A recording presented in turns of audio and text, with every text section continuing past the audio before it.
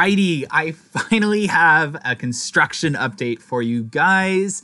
I couldn't be more excited. This is a really action packed construction update. I'm so excited to share what's been going on. But I first want to stress that um, we're getting a lot of comments for Six Flags Great America updates and uh, Steel Curtain updates and other updates from other parks. I want to just let you guys know that whenever there is something to cover, we will cover it. Sometimes we'll wait a little longer for things to build up and then we'll cover it once we get enough content to make a video out of it. I don't want to make a video update for like one picture for a small amount of construction when I can wait a couple more days or a week for more content to arrive. Um, with that being said, though, let's get right into Yukon Striker. This is a Yukon Striker video. Um, so as you can see, all three trains are on site. You have four trains or four cars um, down there below, surrounded by all the equipment. That's where they're assembling the trains. Um, so some of the pictures you may have seen online are showing gray. Um, that is not true. They're actually installing plating onto the trains, the theming um, and the restraints and other kind of designs. That is all that equipment surrounded by those four cars down there. You have three and then two up above them. So in total, you have nine cars. That equals three trains. So all three trains are on site. That's super exciting. So I've, as I've said in another video, you're gonna wanna expect gold plating on the back. Very similar to Valravn. Um, you're gonna expect beige kind of car interior, fancy car interior for the seating, um, and a very dark burgundy red for the base of the cars. Um, so I'm very pleased with how the trains have turned out. I couldn't be more happier. Um, and I think you guys are absolutely going to love them too. They are not that ugly yellow in the animation and the announcement pictures. Nowhere close. Um, with that being said, uh, Canada and Canada's Wonderland, the area, got hit with a very heavy snowstorm the night before, so it's making for some really awesome shots of Yukon Striker and the surrounding area. So hopefully you guys enjoy this footage, but I'm rambling. Let's get right into it. Yukon Striker, this is what you guys are here for. What's going on with the vertical loop? Well, I have great news.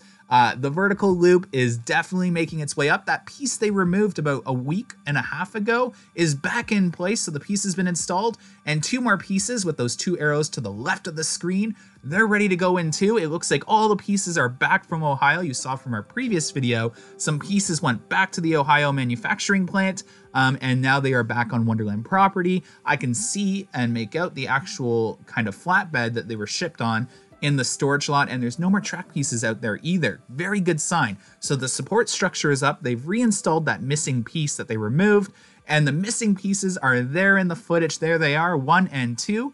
Um, in fact, the one piece, the farthest to the top arrow on the left side of the screen, is actually two pieces attached together. Um, and then the one, I believe, down there is just one piece. So I still can't make out one piece, but I'm sure it's there. All the pieces are accounted for um, and they've definitely restarted construction on the vertical loop. So fingers crossed, the weather is not working in their favor right now. Um, so I don't think we're going to see the vertical loop completed tomorrow. I am going to get my drone out on Friday. Again, Craig is currently filming the footage for us. I'm going to get my drone out on Friday and fly because my drone can handle the cold weather a little more because I do something with my battery that allows it to fly in cold weather. Um, so I'll be there Friday to see if there's anything or if the vertical loop is completed. So look forward to Friday or Saturday update. I'm assuming it's going to be a Saturday update. Um, and uh, I'll try and have the footage and pictures uploaded to our Patreon account for our Patreon our patrons uh, to have access to.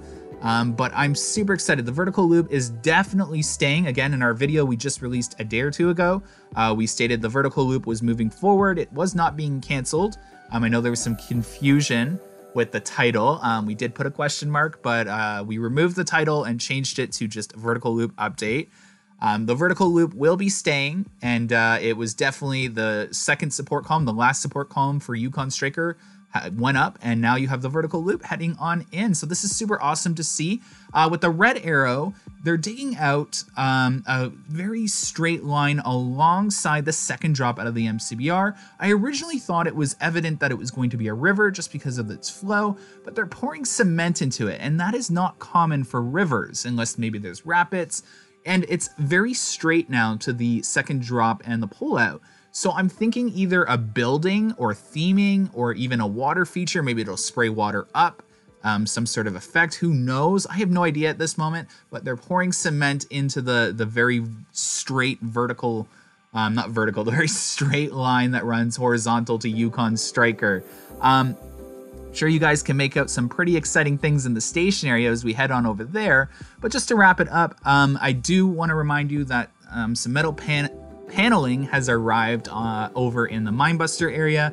You can't make it out in this snowy weather. It is covered in snow, so from afar we don't know what it is. Um, but we do know from previous videos about two, three weeks ago that it is metal paneling, similar to that of the animation for Yukon Striker.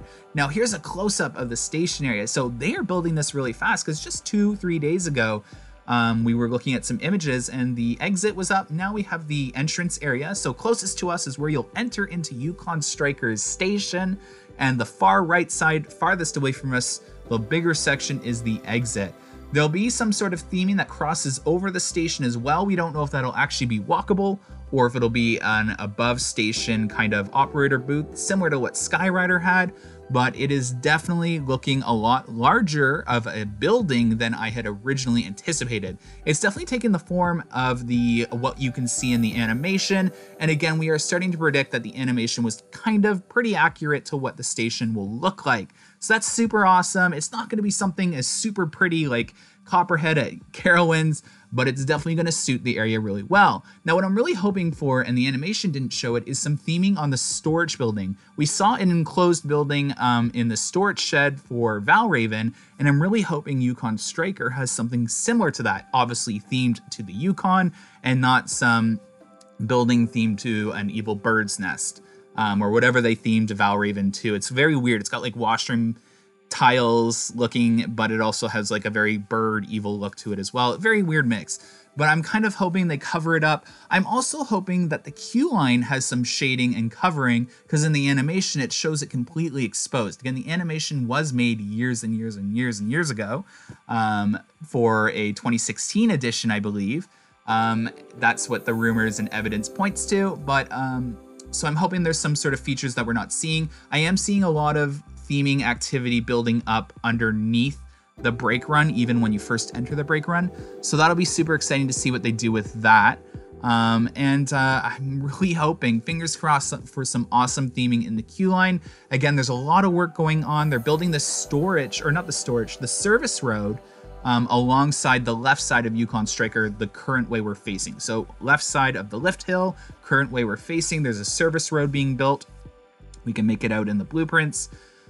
Um, and uh, definitely the queue line looks very massive. So again, uh, the queue line will enter underneath the turn and go into that little entrance area building that they're building.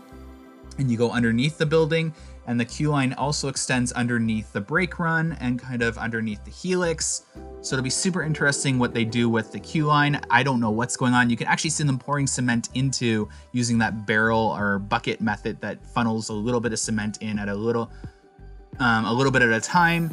So definitely weird activity going on to the drop out of the MCBR. Don't know what that's going to be, whether it's going to be theming building or some sort of building altogether, who knows, um, or just some sort of special effect like a little water fountain. Anyways, hopefully you guys really enjoyed this quick update. It wasn't actually quick, it was a big update. Hopefully you enjoyed this update. Um, don't forget to hit that like button, subscribe if you haven't, and share this video for others to enjoy. There'll be lots more um, updates coming. I actually thought we would end the Yukon Striker updates, and I forgot, well, we have testing coming up, not anytime soon, end of February, and we have the uh, theming and station area to watch as well. So pretty exciting stuff coming up. Stay tuned for all other construction updates. Again, please just be patient.